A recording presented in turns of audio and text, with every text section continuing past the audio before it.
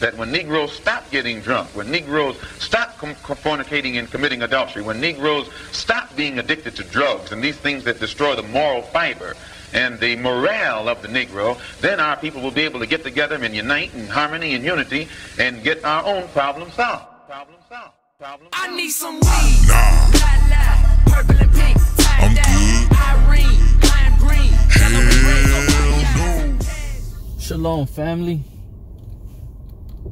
Hey, I just I just had a conversation with my barber, man. And I know this is some val valuable information, so I'm gonna share it with y'all. Um, I already gave it to my coalition. Shout out to the Unity and Survival Coalition.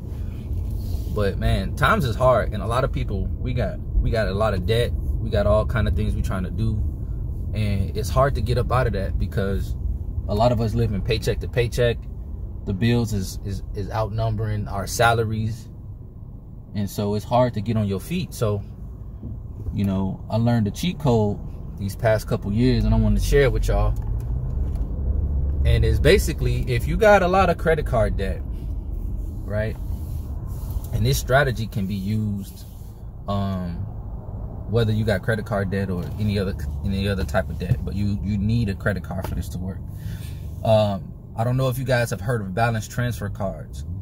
Uh, but if you have and you haven't been using them or looking into them you're wrong you you're missing out on a cheat code a true cheat code what a balance transfer card is, for those of you guys who don't know, it's a credit card, right? That allows you to transfer the balance from a different credit card to that card. And what they, you, you know, you, you might say, well, why would I want to just transfer a balance? I still, I'm still going to owe that money. Here's the brilliant thing about the balance transfer cards. When you transfer the balance from another credit card to that card, that card will charge you 0% interest for a certain term, right? Depending on the card the the the shortest I've seen, the term, the shortest term I've seen is 12 months or a year, right? Basically. And the longest I've seen is 21 months. So that's almost two years, right? So you transfer a balance from another card to that card, and the money that you transferred over or the, the the debt that you transferred over you're no longer paying interest on that for that amount of time. So now you can make payments to that and literally take that balance down as much as you can within that certain time frame. Now if you can pay the card off right pay that that full balance off within that time frame there's some credit card uh, balance transfer cards that would allow you to make another balance transfer to it right and that way it's not sitting on your other credit card charging you all of this interest because credit cards are charging a minimum of 20% interest, which is crazy. They raping people. So, long story short, get you a balance transfer card, man. If you, I'll give you an example. Say you have three three separate credit cards. You and you owe two thousand dollars on each of those credit cards at a minimum, they're charging you at least 20 to 25% interest on each of those credit cards. So the amount of time that it would take you to pay them cards off is is crazy because majority of us are only making the minimum payment. We're only able to make the minimum payment. So on on $2,000, your minimum payment might be 30, 60 dollars, but only maybe if it's $30 maybe $4 of that is going to your actual balance and the rest is going to interest because the interest is so high. So what you do is you get you a balance transfer card. Let's say you know say your credit ain't that good. So say you get approved but your your your credit card limit on your balance transfer card is $4000 $4000 that's enough to transfer one whole credit card because like i said you got three cards and there's $2000 on each card you can transfer a full 2000 from one card and majority of the other card to the balance transfer. Because if you have a if you have a limit a credit limit of $4000 you won't be able to put the full $4000 on the card because they're going to charge you a fee to, to transfer the balance. And the fee can be um, anywhere from uh, uh, five dollars to a hundred and hundred and five dollars or whatever right? So that means it'll take a little bit off the top and you won't be able to transfer the full. You might be able to transfer like 38, 3900, right, to it, right? So anyways, so you're basically taking the, the full balance off of one of your credit cards and majority of the balance off your other credit card. And you put it on put it on a balance transfer card. Then what you have to do is that you have to put majority of your extra income that you have, whatever you have, and pay it towards your balance transfer card. With the remaining credit, the remaining two credit cards that you have a balance due on, just pay the minimum amount. Whatever the minimum amount is. Don't worry about paying extra. That's what the balance transfer card is there for. You're gonna pay, say at the end of after all your bills, you only got $300. Well, now the minimum payment on a $2,000 card that you have is $30.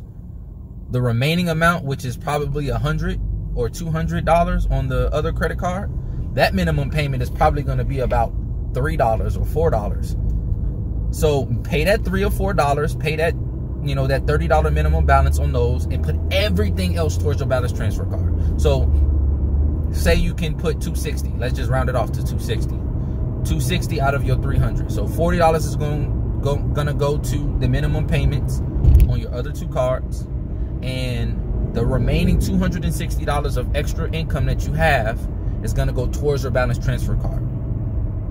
Well you transfer what 30 let's say 3800 3800 to it? So you have a balance of 3800 that 260 is going to go straight towards that balance. So after you make that payment 3800 minus 260 that's what you're going to that's what your balance is going to be and then you consistently make it every month and it comes down every month. And as it's coming down guess what? Your credit score is going up. The other reason why your credit score increases when you use a balance transfer card is once you get approved that credit limit it goes towards your total credit utilization. Your debt to income ratio increases because that card is a legit credit card right? So if you had three cards and $2000 due on each but if those balance, um, not the balance, if the credit limits on those three cars was five thousand dollars each, you technically have fifteen thousand dollars in terms of a line of credit. Now that you have this balance transfer card, that fifteen thousand went in, and increased to nineteen thousand. So now your credit credit um, credit utilization is increasing and your debt is decreasing. So your debt to income ratio is is going up, which is good for your credit score. And another thing, while it's really good is because although, yes, applying for a balance transfer card is a hard inquiry on your credit report, so your your score will initially drop a few points from that hard inquiry, or it may not. It might it might not, but if it does, it's okay because say your balance transfer card is is one of the the, the lower the lower ones, right? So you got a four thousand dollar balance, and your the term of the of the zero percent interest is twelve months, so just one year. Once you go through a whole cycle of, of a full 12 month term, your credit score is going to increase so much to the point where you can now apply for another balance transfer card and transfer over the, re the rest of the remaining debt.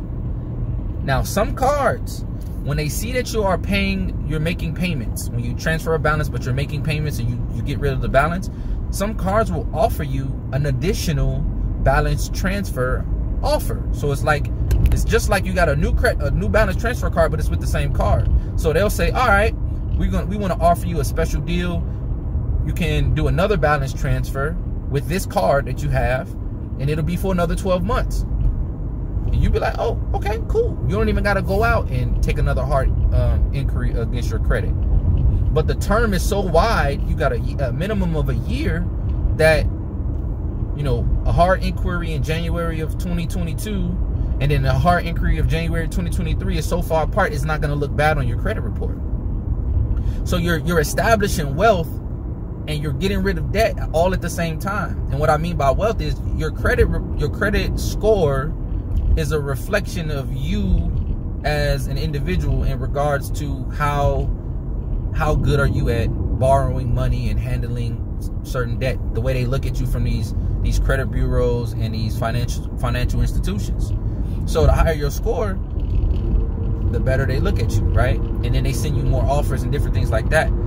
You can literally rinse and repeat this strategy over and over and over again. And you don't have to struggle with paying off all of this debt, especially with your credit cards, right?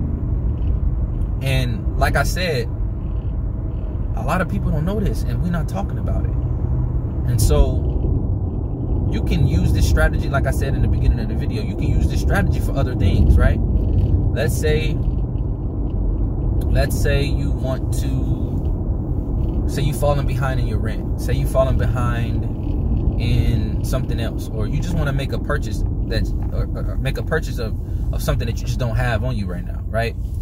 Credit cards, regular credit cards will allow you to do cash advances and it'll just go towards your credit limit, right? So if your balance if your balance is 5000 and you have a $1000 balance currently on it, you have $4,000 left in available credit to use. Well, you can use a cash advance.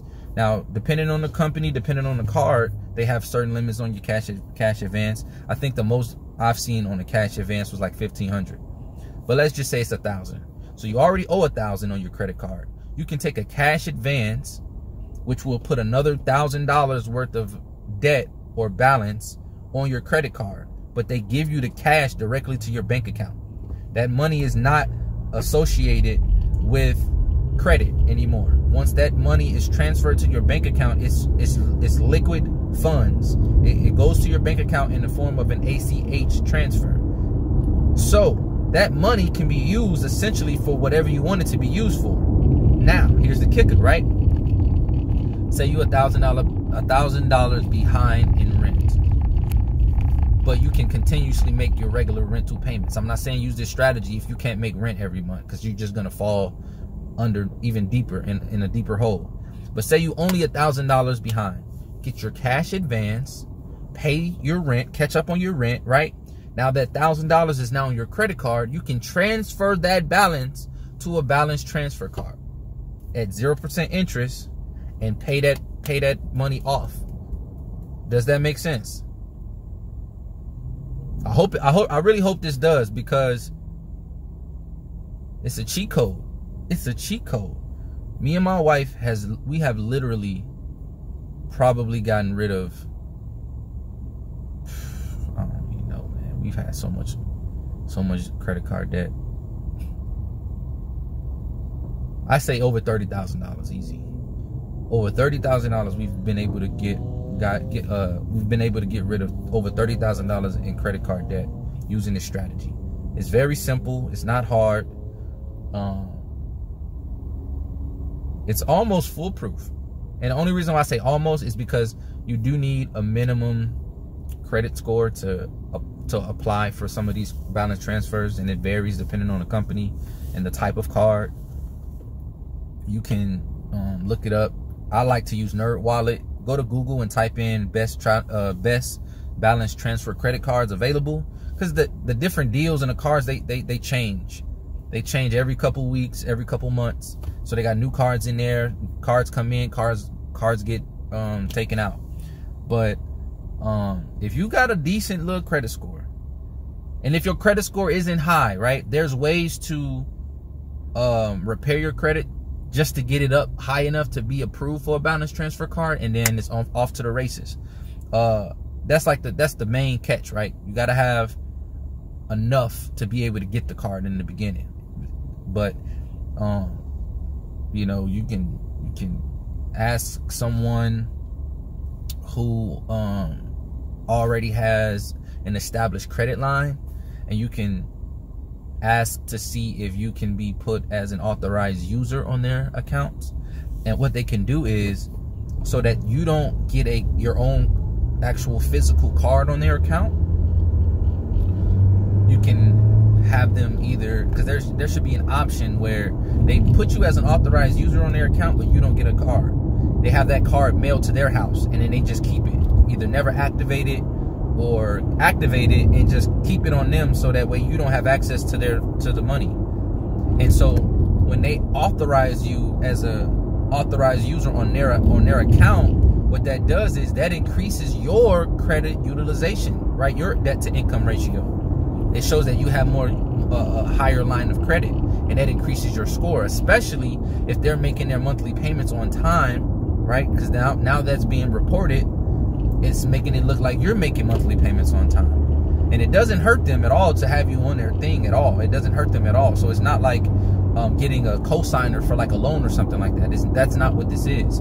You're just basically authorizing them to be able to utilize a credit card on your line. But if you never get the credit card, then there's literally no risk to them at all. Because if you don't make payments on your credit cards, they're not authorized user on your credit cards, so it's not going to affect their uh, credit. But you can do something like that to kind of build your credit up a little bit, and then once you get in the door to be able to get a balance transfer card, bro, like the sky is the limit. Get rid of all of that debt, all of that debt. The credit bureaus was like, dang, like how's he paying all this stuff off? Yeah, yeah. I'm I'm hitting him with it, right? I'm uh, catching it. catch all of this because I I hate I hate owing people.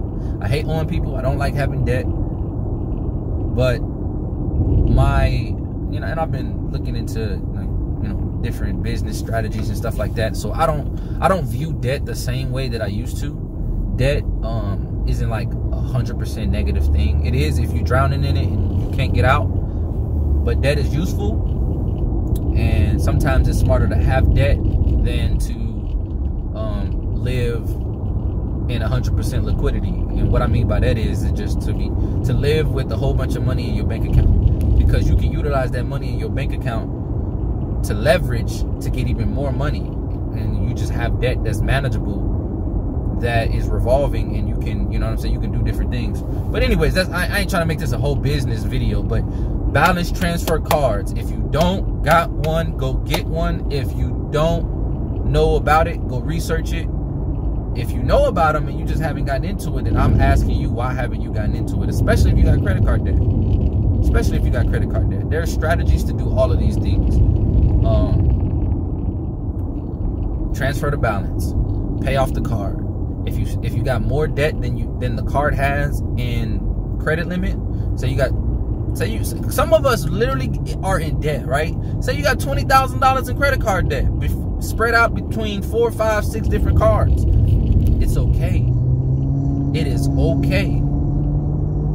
Do what you can.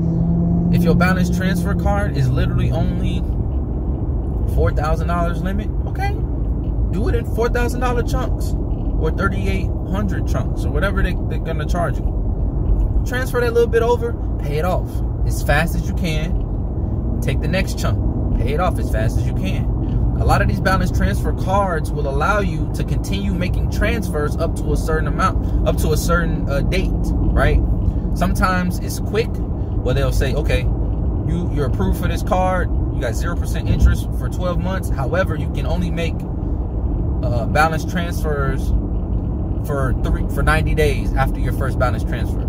So if you make a balance transfer uh, balance transfer on January 1st, and they give you 90 days to give you three months, and you have until March to make another balance transfer.